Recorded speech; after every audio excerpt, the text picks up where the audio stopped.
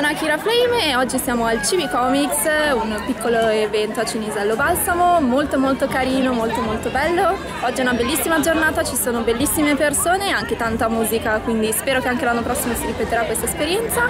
E nulla, un bacione a tutti!